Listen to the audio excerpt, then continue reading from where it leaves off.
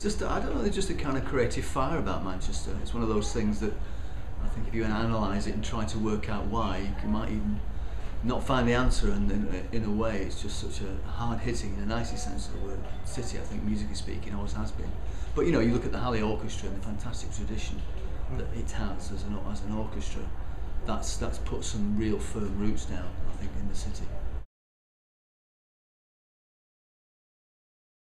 Think it's the quality of what they receive, and I can say that very openly because it goes from the one the individual lessons that they all have. So there's a lot of importance to be placed, and congratulations placed, if you like, to those people who've taught and inspired our students over the years. But then it's more of the, the, the kind of collective work that goes on there as well, the supportive work. Um, it's a very creative place, and there's a great number of opportunities for the students. It's something I, I kind of draw blood flow really is to, is to kind of help creating those opportunities and things that will give them a creative insight into what they're trying to do whilst whilst really pushing themselves to the height of what their instrument or particular slant of, of, of their musical study is. I think it, it, it, it's not only will do, it has to. Um, we've been very keen as well, if I talk about the new building for, for a while, um, you know, there's, there's an outreach centre there, outreach community area which, which we really want to be used a lot by organisations, particularly in Manchester, the Northwest and further afield, uh, because that's a great inter interactive uh, process, I think, something that our students love doing, but also through the, the range of things that we do in the community already, we just in a way want to expand that. So that's that's one aspect of it. The locality of it is very uh, exciting as well. It's close to difficulties in terms of a building. You know, if somebody says build a build a music uh, establishment next to two railways, two rivers, etc., etc., you'd probably say no. Let's go outside the city. But actually, it's it's the vibrancy of the city and so forth that is one of the key pointers for why we decided to stay put. Um, further down the line, of course, one of the best historical buildings in, in, in the northwest is is, is the, the former home of Humphrey, Humphrey Chetham himself. And so that's why the plans have been very careful to enrich that so that there'll be a visitor experience, whatever phrase you wish to call it, uh, in the future, particularly when the, the, the older building, the Palatine building, it's known, the one, the one that the music department calls home, uh, is, is dust and rubble. Uh, but that once that building's gone down, it will expose the medieval building right from well beyond the other side of the cathedral right the way through towards Victoria Station.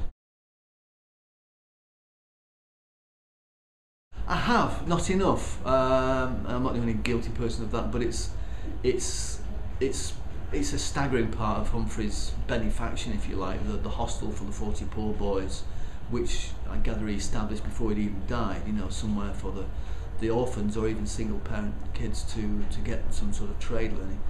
Um, but the library is just a fantastic uh, experience as well as a, as, as a resource. I know it's, it's a great uh, place of, for resource and so forth.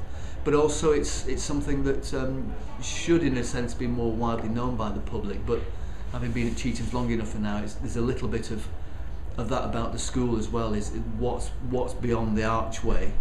Uh, and in a way that lots of things we've done within the schools, be it concerts, performances, special events and so forth, has been designed partly to pull people into the school, the environs, and the medieval building, and of course, especially without the library.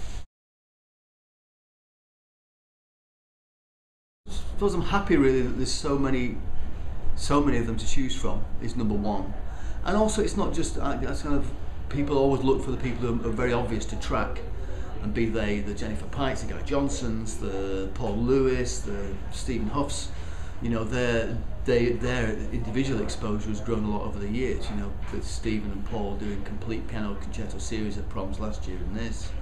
Um, but you've got the Gwilym Simcock, who's, who's now an, you know a climbing name in the jazz world. You'd probably think he's an established name, but he's, he's a very sincere and honest guy.